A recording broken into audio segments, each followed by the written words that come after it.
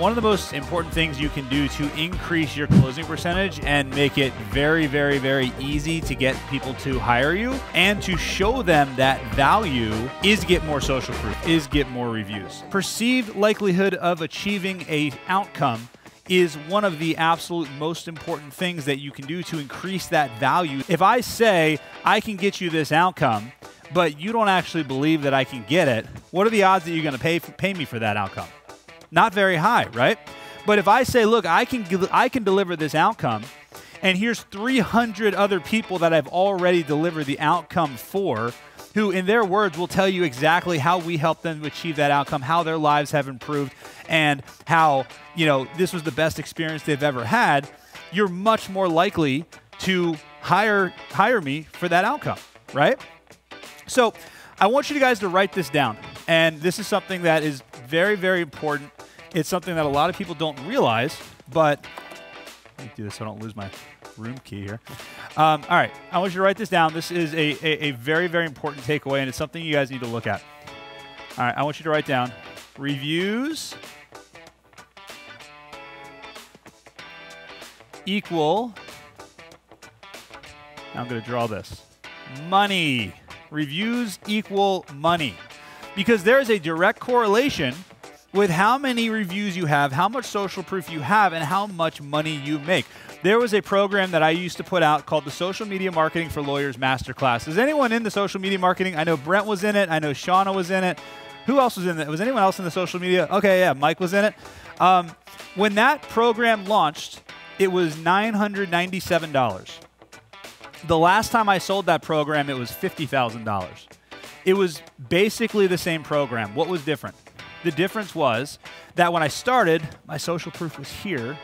And when it ended, the social proof that I got out of that, where basically I could tell people listen, if you go through this program, if you implement what we say, if you go through the steps and you actually execute, you will make seven figures. You will make a million dollars. You will make a ridiculous amount of money. And as a result, because the perceived likelihood the perceived likelihood of achieving that result was was higher the value was the value went up right and when the value goes up what does that mean i can do with my prices anybody I can raise my prices. Exactly. So that's how I took that program from 997 to $50,000, right? And the reason why was because of social proof. And this is something that you guys can do with your firms as well. I talk to lawyers all the time and they say, I don't have a huge budget. I don't know exactly what I should do to to to market myself to grow my law firm. And I say, well, look, first of all, that's kind of in your head anyway. But if you actually didn't have any money, the number one thing I would focus on is getting more reviews because reviews equal money. So, uh, uh, uh, Bazaarvoice Network did this study, and I, have some of you probably know this already, but um, they found that when a business, any type of business, doesn't matter the industry, when they get 200 reviews, how many reviews?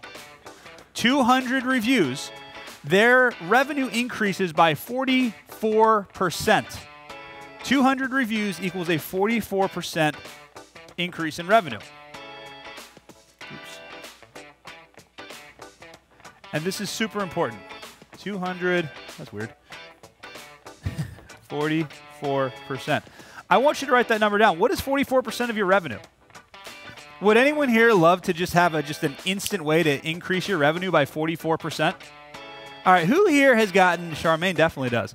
Who here's gotten a lot of reviews? Somebody put your hand if you've gotten a lot of reviews recently.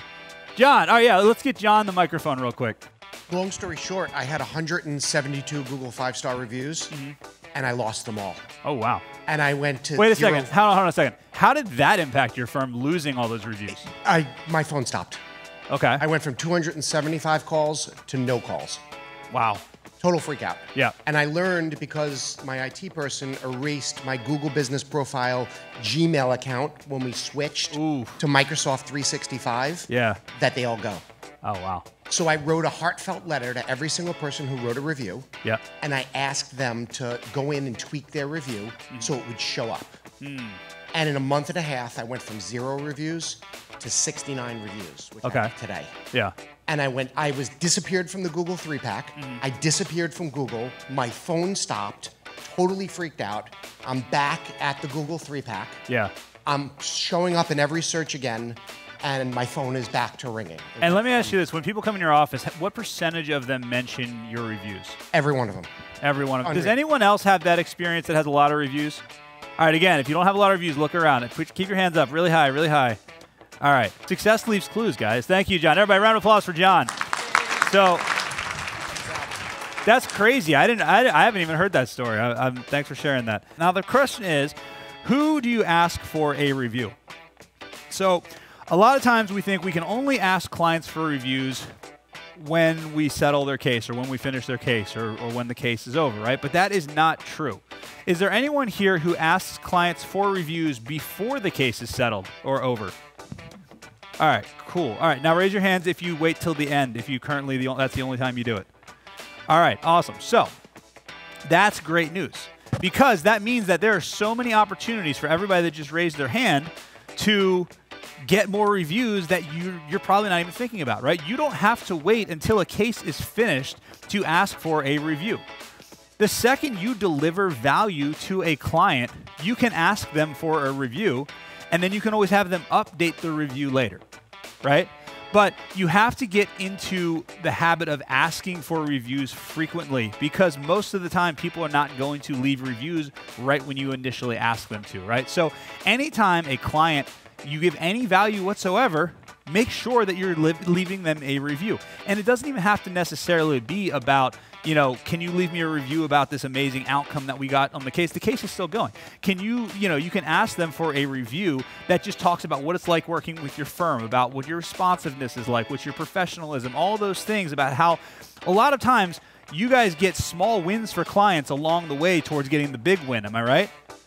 So if that's the case, then have them leave reviews about those small wins because they all add up and they all count. And a lot of times, a small win for a client will put them in a really good, uh, a really good uh, situation. You had a question? I've been most successful getting reviews asking before they're even a client. Yeah, yeah, absolutely. Immediately at the end of the first five to 10 minute phone call. Yeah, exactly. Most successful time. Yeah, yeah, exactly. That's on my list. Consults. Who here asks for consulta- people who do consultations or even do a phone call with them that's not even a consultation? Who asks for reviews? Put your hands up high. All right. Who does not do that right now? Put your hands up high. All right. So that's another thing you guys can do. Anytime you are on the phone with somebody or a consultation and you deliver value to them, because who here delivers value in your consultation? Like you don't just go in and just sell, right? You find out about their case, you find about the situation, you give them advice, you tell them, well, if I was you, here's what I would probably do. Here's some of the, the weaknesses that I see on the other side. Here's something. Like you give them lots of value, right? And one of the things you can do is as soon as that's over, even if they don't hire you, or if they do hire you, you can say, hey, listen, if um, I sent you a link, would you mind leaving us a quick review just just because we want to know that when people have questions or concerns they can call our firm and we're going to help them get answers to the problems even if they don't hire us. Would you guys mind would you mind doing that and most of the time people are going to say yes. Very few people are going to say no but you don't have to worry about those people. And then you send them a link and a decent percentage of them will actually do it especially if you provided value because of that reciprocity because you gave them value without actually charging them at the at the beginning. I mean if they do hire you you're still going to give them value. But consults are a great place to get them. Um, past clients. Who has past clients that have not left reviews yet? Anybody all right, those are your prime targets. If you have a past client that left you a uh, a testimony, or that sorry, that you got a result for, it and they didn't leave a review, we need to go back and we need to get them to get us reviews. Um, friends and family, friends and family have have your friends and family left you character reviews. Now, a character review is a review that talks about your character. I left a review for a, a character review for Sammy the other night. And basically, I didn't say Sammy represented me and did a great job because that wouldn't be true. But what I did say is I said, I know Sammy very well. I know that he's very reputable. I know he's knowledgeable. I know he cares about his clients. And I know that he'll fight tooth and nail for them. So if I needed an attorney like him, Sammy would be the first person I would call, right? You can get friends and family members to write reviews like that that talk about your character and it all goes on there. It doesn't say it doesn't say client reviews on Google, right? you can get people to do that. Um, another one is uh, vendors. Who here has vendors that you spend five hundred dollars or more with on a regular basis? Okay, ask every single one of them to give you a review. These are easy sources of reviews. There's lots of different types of reviews and lots of different types of testimonials that you can get. So the easiest is going to be the text review. And the text review is basically a Google review. That's where they're actually typing the review out. Now, um, has anyone here had an issue where somebody goes to Google, leaves a review, and it disappears or doesn't get posted? Okay, cool. So um, that has been an issue, and the reason why is because reviews actually increase your Google rankings. Does everybody know that that reviews actually impact where you rank in Google? Okay, so Google uses relevancy. How relevant are you to the thing that the person is searching for and also the geographical location to where the person is located? And they use that information to determine where you rank in Google in the Google Maps. Where they get relevancy from is from reviews. So if you have reviews that use words, phrases, keywords, and synonyms that are all related to both your practice area and also your geographical location, and you have lots of them, then what's going to happen is Google is going to rank you higher in the Google 3-pack. Now the problem is is that marketers ruin everything, and once they realized that, marketers started just buying tons and tons and tons of fake Google reviews with words, phrases, keywords, and synonyms related to whatever customers, um, you know, uh, whatever people were searching for for their customers. So Google had to crank the filter up really high. But here's something else that's cool. We had a client, I don't remember who it was. If you're in this room, uh, I wish I could remember who said this. But they actually contacted Google and got a bunch of reviews that had been filtered and removed. They got Google to put them back in. Now, you used to be able to do this pre pandemic, but after the pandemic hit, you know how companies basically said, oh, we don't need customer service anymore. Um, Google did that as well. And Google stopped allowing you to contact them, but apparently now you can contact them again. So if you have reviews that have gotten taken down, it's worth going to support.google.com slash business and scroll down to the bottom, you're going to see it says contact us. And you can actually contact them and you can try to get them to release those reviews that have been filtered. Now I don't know if it's going to work, but I've talked to clients and I know that recently this this is like back. It, it was gone for a couple years. Um, so if you do that, but you have to remember what is Google looking for? They want reviews that are actually from real people. They don't want spam reviews, which is the reason that reviews don't get posted in the first place, right? So, one of the best ways to make sure that your reviews actually get posted is by making sure that the reviews seem real. That's they seem authentic. The secret to getting lots of reviews, as I said, is having a plan. I want you guys to think about this right now. I want you to think about this. Who in your law firm can you incentivize to own getting reviews for your law firm? Like who who who is going to be in charge of getting reviews for your firm? And how can you incentivize them? Now, this is why this, this 44% number is so important. Remember, I said once you hit 200 reviews, your law firm revenue increases by 44%. If you figure out what 44% is, divide that number by 200, that's how much each review is worth for your law firm, right? So, if you have somebody that you can bonus them $100, $50, $75, something for every review that they get, every five star review that they get, First of all, what that is, that's an investment in your law firm that's going to make a huge difference on the bottom line. Second, it's going to give a morale boost to an employee or employees because they can now increase their pay and also contribute to the overall growth of the law firm. So everybody wins in this, right? But the question is, and I want you guys to write this down right now who is going to be in charge? Of getting reviews for your law firm. The who doesn't have to be just one person, but the question is how can I incentivize them? How can I make them excited? Write down the word excited, not just how can I make them do it. How can I make them excited to do it? Where they're like, holy crap, we're going to get to go to Cancun? Yeah, I'm in. I'm, I'm asking everybody to leave a review, right? How can we do that, right? Now, the other thing you have to remember is that if you ask 10 people to leave a review, seven of them will not do it the success rate is going to be about 30%. So you have two options. You can ask more people for reviews, or you can follow up and follow up and follow up with people, just like sales, right? Just like you have to, just like you have to follow up on sales, you need to follow up on people who you asked to leave a review, who said they would leave a review and didn't do it. Right? And that's why it's important to have somebody who owns the process because a lot of times people want to leave a review, they say they'll leave a review, and then they get home and the kids are screaming and dinner's going and they got to go to soccer practice and all this stuff and they just forget about it. It's not a priority, right? So you have to have somebody on your team that is in charge of the reviews and also is following up with people, right? Um, I talked to John Fisher, who's a personal injury attorney, and in one year he got 300 some odd reviews, which is amazing. Who would love to have 300 reviews next year? Give me your hands up. Okay. So I asked him, well, how, how, did, how did you do this? And he said, well, I sent out 1,500 requests. Right? So, like, so uh, he sent out 1,500 requests and he got 300 reviews. So the outcome was still great, but holy crap, that's a lot of requests. So you have to do things, and you have to remember that most people won't. Most people won't leave you a review. So you've got to have somebody that's in charge of it that stays on it, and it can't be an every once in a while thing. It's got to be something that you're doing over and over and over and over and over again. Now, here's the other question. The other question is how many Google reviews do you need? Does anybody know? well, the answer is more. The correct answer is more. Um, but one thing, you, here's a good starting point.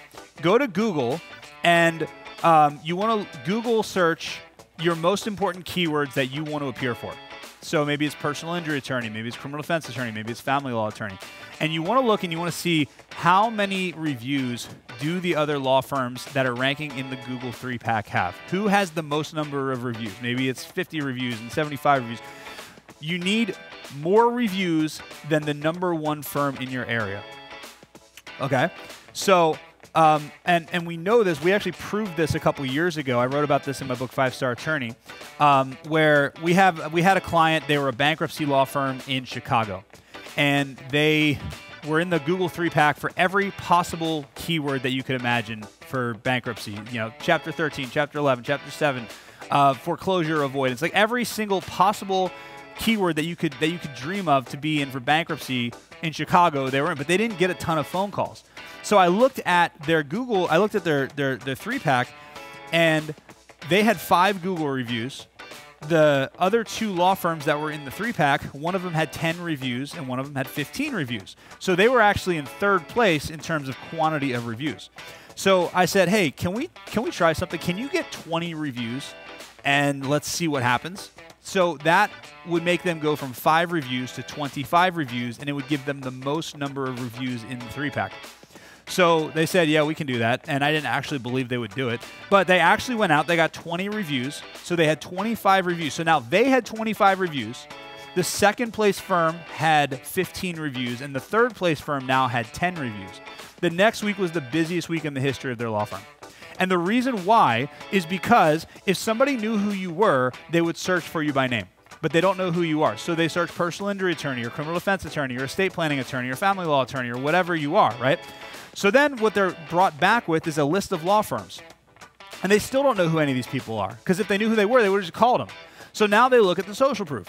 And most law firms have anywhere from a 4.5 to a 4.9 law, to, uh, social proof. But as long as you've got four and a half shaded stars, there's no differentiator there. So now the next thing they look at is the quantity of reviews. If one firm has 200 reviews and another has five and another one has 27, they're going to go with the one with the most reviews. And we've proven this over and over and over again. So that's why it's important. That's why you must have the most reviews in the Google 3 pack. And then you can't be complacent. You have to keep going because your competitors will come after you once they see that you have more reviews than them. They just will. So it's got to be the type of thing where you are always, always, always getting a review. So the day that you retire is the day you can stop asking for Google reviews.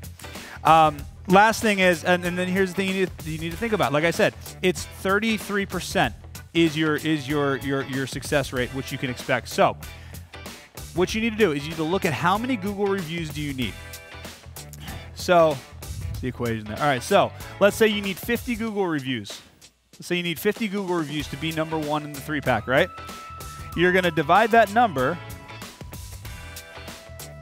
by 0.33. And that's like 151 requests. So if you need 50, if you need 50, divide whatever the number is that you need, divide it by 0.33. That's how many requests you need to send out. And that should be your goal over the next couple months or whatever. Social proof and reviews will change your law firm. It will change your life. It will change the finances of your law firm. It will change everything. The only thing you have to do is just make sure that you're on it.